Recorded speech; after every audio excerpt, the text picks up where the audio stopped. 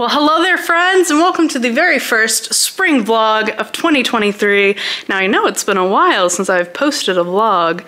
I've been all about the collages lately, but things are starting to finally warm up, and I think they're gonna stay that way. Like, today has been in the 70s, and we never had a really true winter. It was cold, like really cold, for maybe like two or three days before Christmas. And we had a few really cold days here and there, but usually it's like the end of October, it gets really cold, stays that way until about, you know, April, May. Um, and then it's kind of like, you know, maybe a gradual warm heat, but no, this is like all of a sudden 80s, 70s, and it's, it's kind of crazy. But we never had a true winter, I would say. We didn't really have any snow that I can remember. No, I guess we got lucky. here's little Tilly again, chilling by the window. It's always the warmest spot over here by the window. Now I'm switching over all of my St. Patrick's Day decorations and turning it into spring slash Easter. So let me show you what I had all around the apartment for St. Patty's Day. I had this nice little green with gold garland hung up. That was great. And over here by the kitchen table, I have a bunch of clovers. All this garland I got from Michael's and Timothy helped me put this up, so that was quite nice. And here is the St. Patrick's Day aftermath. Now I had everything set up on the table as you see it, sort of, with the exception of these coins and all this crazy little paper, which I had inside of some treat buckets that I made for everyone for St. Patrick's Day. So I thought that was gonna be a little fun thing to do. And I also made some little green gummy bears that were flavored like cotton candy. The texture of them was great. I found this mix and flavorings to put in them and the dye all at Hobby Lobby and the little molds for the gummy bears. So that was pretty cool. And this little leprechaun, if I remember correctly, I think I got him at Hobby Lobby last year. And I had these little foam clovers that I added to the buckets. And this little gnome that I got at Hobby Lobby this year. I think I had these clovers since last year, and I want to say I got them at um, Dollar Tree or Hobby Lobby. Can't quite remember. And then my favorite little leprechaun that I got from the antique store, I think two years ago. But yeah, I got them from the antique store and I love them.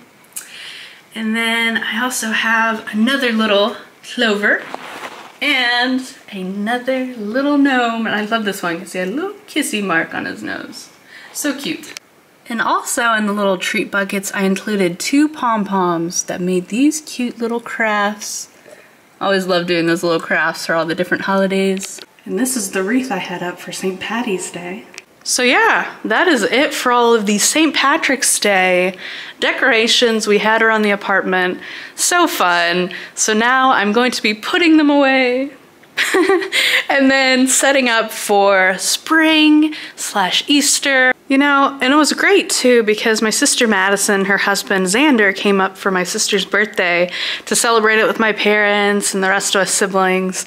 And then they came and, and stayed at our apartment. And on St. Patrick's Day, we had all the stuff set out on the table. So that was real fun. And then we had them around for dinner. So that was a really special experience getting to be with everyone for St. Patrick's Day and just chilling, having fun, and it's always great to have them over. What you doing? You sniffing out all the groceries? And this is that new doormat I got just in time for Easter. And I just got this cute little bunny bum. it's so cute. This little hanging sign for Easter time. Guys, I had an epiphany and I will show you in this video I uploaded to TikTok. It's not that Bigfoot isn't real. It's that he's hiding up in the trees. Ever since that one day he was caught on camera walking, I don't think he's ever wanted to be caught again walking on foot. Now I do declare that Bigfoot is real. Like I said, he's just hiding in the trees. just look. All right, now all my spring slash Easter decorations have been put out and all of my St. Patrick's Day ones have been put away. Now these little bunnies here I got last year from Hobby Lobby. And then this sign I got today from Hobby Lobby. Look at it, so cute. And I just love these little bunnies. And then this is something I got from one of the antique stores, a little craft that someone made. I thought that was cute. I also got this at Hobby Lobby today. I thought this was so cute with the little bunny booty sticking out of the truck. And then I also got these little bunnies from Hobby Lobby. I just love how their little eyes look.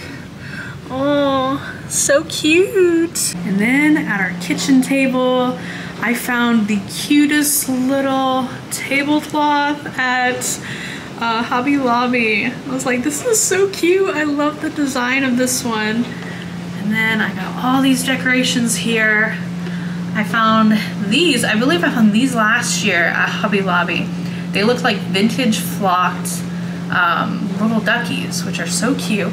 And I love all these little little birds with bunny ears that I think, if I remember correctly, I got those at Hobby Lobby last year. Either that or Michael's, but yeah, they're so cute. And I have another little chick here. And then this I got today at Hobby Lobby. And it's a little radio and it plays one song.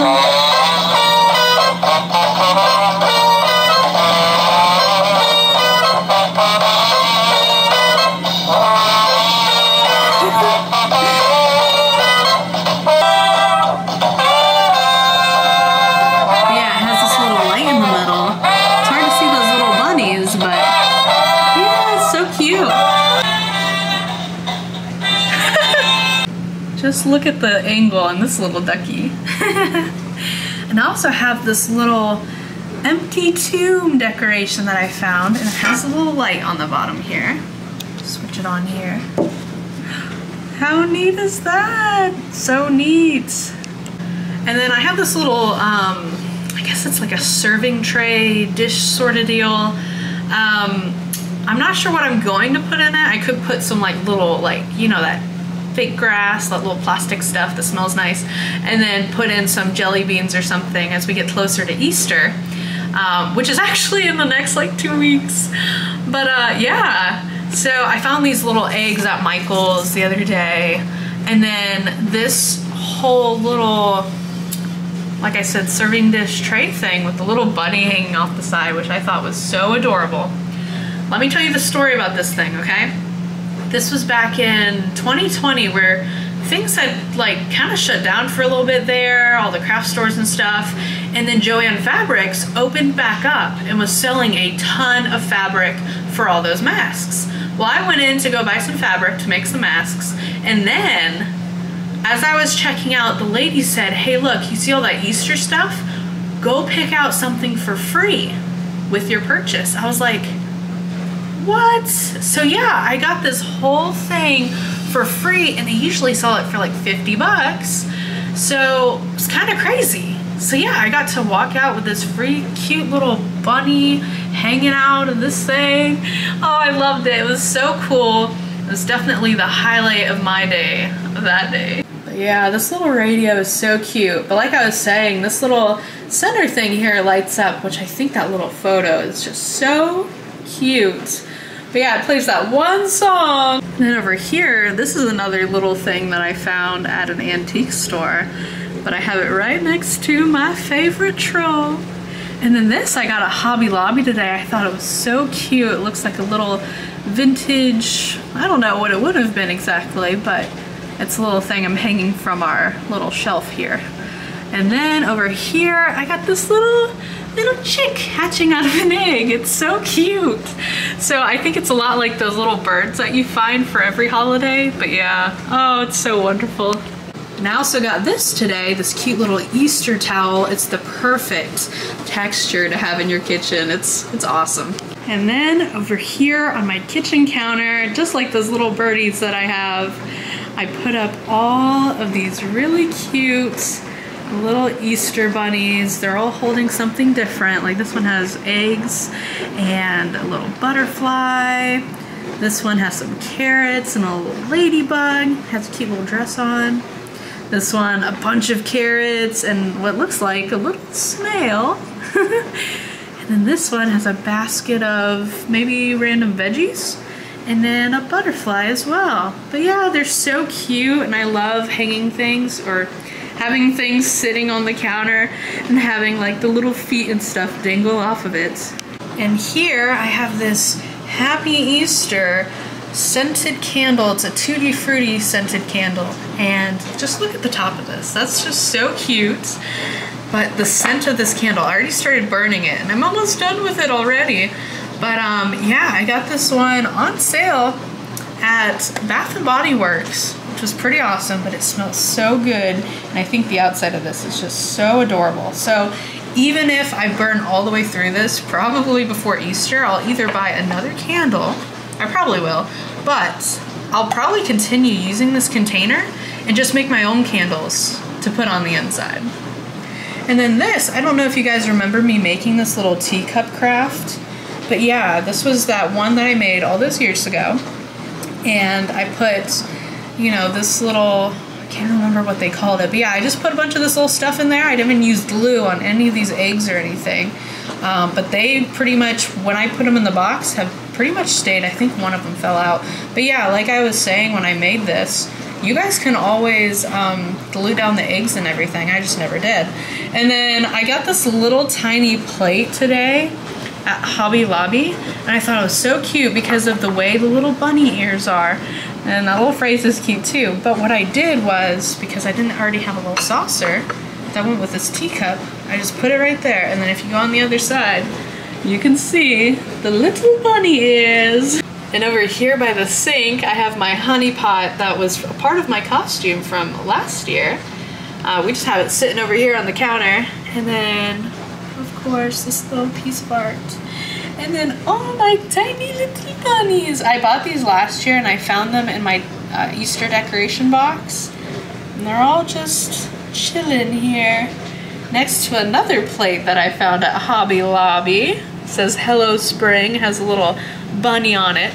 And then right next to that is this Jelly Belly container that I've had for a few months now. It has all the little Jelly Bellies in it, and the cool thing is, it has a scoop right next to it that you can actually you got to lift this little thing to put the scoop back. Yeah, I think it's so cool that it has its own little scoop and its own little compartment there, and you can just keep filling it with jelly bellies and have it sitting out all year long. And maybe once Easter's all over, I might be able to find some more Jelly Bellies on sale to refill my Jelly Belly container. And on the counter here, I also have this little plate that I believe that I got from my mother last year for uh, Easter, if I remember correctly. But yeah, it's a cute one too. And while I was at Hobby Lobby, in the Easter section, they had this little deviled egg like uh, filling dispenser. But look at this. Look how awesome this is. And I was like, you know, I'll just stick to, you know, my bag method that I do. But how cool is this? Like, I can just, like, look at this. And you can mix everything all in the container. So you don't need, you know, the bowl, the spoon, the everything. It's just all here. I just thought that was so cool. So I was like, you know what? And look, it makes this fancy little you know, swirl design on the eggs. So I was like, yeah, you know what? I'm definitely gonna get this because it's so cool. So yeah, got this at Hobby Lobby as well. This thing was 40% off along with all their other Easter decorations. But yeah, that is it for all those decorations. And if I happen to find more, out there in the world. Perhaps I'll put them up and show you guys. But yeah, that's it that I have for all those decorations. So now I think I'm gonna make another collage. Um, I have the time to, so why not, right? So yeah, I think I'll make another decade challenge collage. I just uploaded one, I believe it was a couple of days ago. And that one was the 1950s decade, or not 1950s, 1960s decade collage challenge video. So now I'm on to the 1970s, then I have the 80s, and maybe I'm gonna do the 90s. I don't have too many magazines for the 90s, but I might be able to come up with something. So if I do the 90s one, that one will be a real challenge. So we shall see. And check out what else I found at Hobby Lobby. Some bubbles that are peep scented, and I wonder if they're peep flavored as well. I don't know. Huh. But they are no dye and non-toxic, so that's pretty cool. All right, now I'm done with my most recent collage, and I have all of these papers and supplies to put away. I would show you the collage, but it shall remain a surprise until I get the video edited and uploaded. And then all I'll have next is the 1980s and maybe the 1990s because I only have one Life magazine from the 1990s, so we shall see. Now I can't quite remember if I've already told you guys about my new Etsy shop, but finding the name for it was a bit of a challenge because a lot of the names I was coming up with weren't quite creative enough and they were already out there as a shop name. So I recruited the help of my father to give me some inspiration for my new shop name and I came up with Whimsy Dandy. And I wanted something sort of creative, fun. Um, I was thinking of Figment the Dragon, so I really love that mascot from Epcot. And so I was like, I want something fun and magical and creative, you know, um, because that's what I want to bring to people in my little creations. And so I came up with Whimsy Dandy. And the little slogan or tagline that I came up with was, all you need is a bit of whimsy to feel all dandy. So yeah, so, and then I went to Canva and came up with the logo for the shop. And here it is now. Here's the picture of it. I just got to get some business cards and some uh, some stickers to stick on my boxes and stuff. Uh, but yeah, so I have that shop open now. I just have to make sure all the details are in place and double check all that for you guys. Um, but yeah, so Oh, that was so fun. And I'm glad I have this new Etsy shop open and I'm posting all this new stuff. But let me show you what I made for my very first Etsy shop listing. And here it is. This was my very first new Etsy shop listing. I took and I sculpted with all these fun colors a tentacle and then put it in this miniature terracotta pot with some crafting moss. And then I found this really cool bottle at the craft store.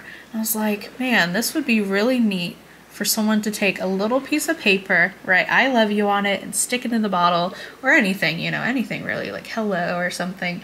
But I just thought this would be a neat decoration for someone to have, or for someone to give away as a gift. So it's still out there on my Etsy page for right now, so check the date of this video if you're just now seeing it.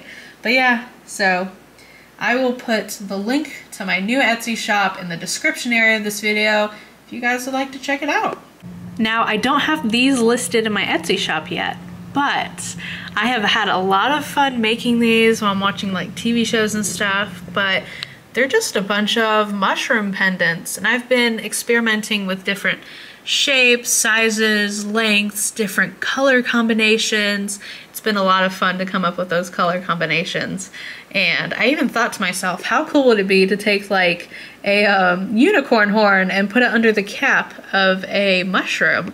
And then I was thinking, okay, should I make it kind of raised and not all the colors like together should I make it with the colors together so I've just kind of been experimenting with all these different mushrooms and stuff and they're really cool looking and um, I even have one hanging in my car where the mirror is and I, I love looking at it. It's such a neat, unique piece of art and I'm selling them when I do list them as necklaces or just the pendants alone.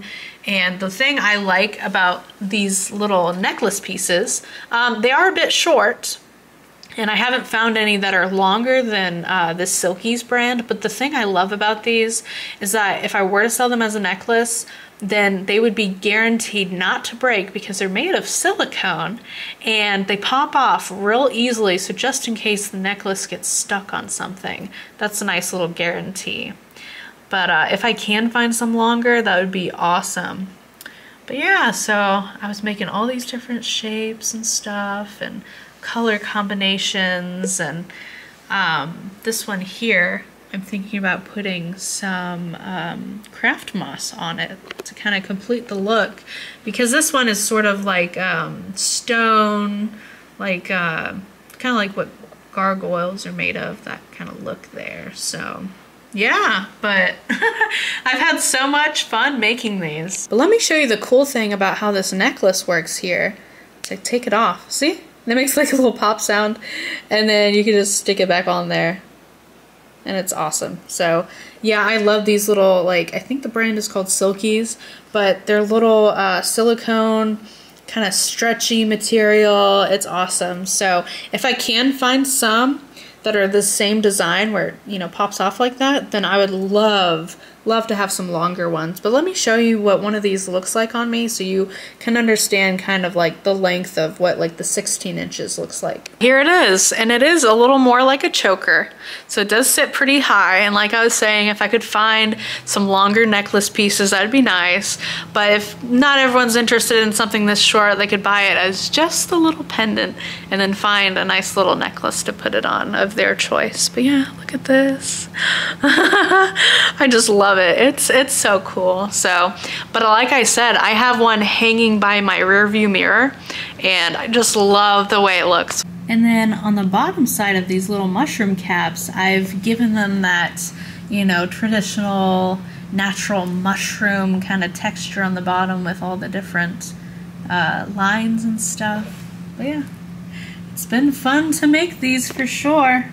And if you guys are interested in them and the listing isn't up yet, feel free to send me a message or a comment. And um, yeah, but I'll have the uh, Etsy shop link in my description for this video. But what I'm doing now is I'm actually replacing the jump rings on these because I don't know if you can see it, but the jump rings are really small. So if someone wanted to buy this as a necklace, they couldn't get it past this point if they ever wanted to switch out the necklace part of it. So yeah, I'm uh, switching out the jump rings to some wider ones. So that way if people want to switch out the, um, the pendant for a different necklace, then they can do that. Um, because I've done it before with necklaces I've bought various places like gift shops and stuff. But yeah, oh, I love them so much. They're so cool.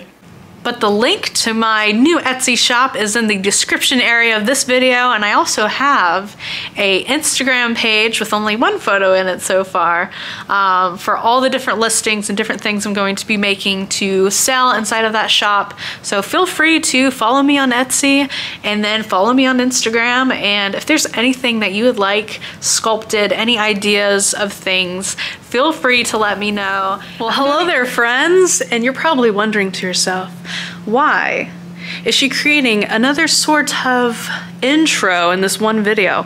Well, when I was filming the first part of this vlog, I fell asleep, a deep sleep. I had taken a nap, and then when I woke up, I was wondering to myself, what year is it? so yeah, now I'm here, I'm back, it's me from the future, a few days later after filming this first portion. And so, I shall be continuing this vlog. So let's get back to it. Tiller, you want to play with some bubbles? So yeah, remember these bubbles? Well, of course you remember because it was just a minute or so ago.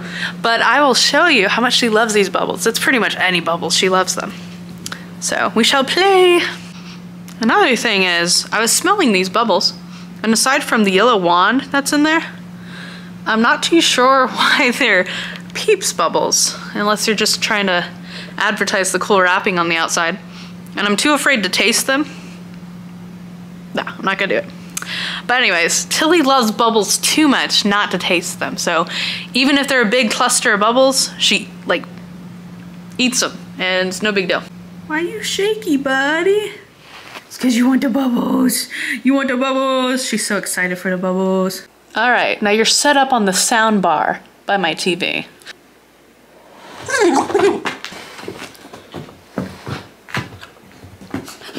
Well, I think if I do any further vlogging from this point on, it might just turn into a new vlog. So if I do, I do. If I don't, then I don't. But thank you guys so much for watching this vlog. I know it had been a while, but I'm back. And there shall be some more collage videos and some more um, vlogs. so thank you guys so much for watching. I hope you enjoyed this video. I truly enjoyed making it and I hope you stay tuned for more. Bye!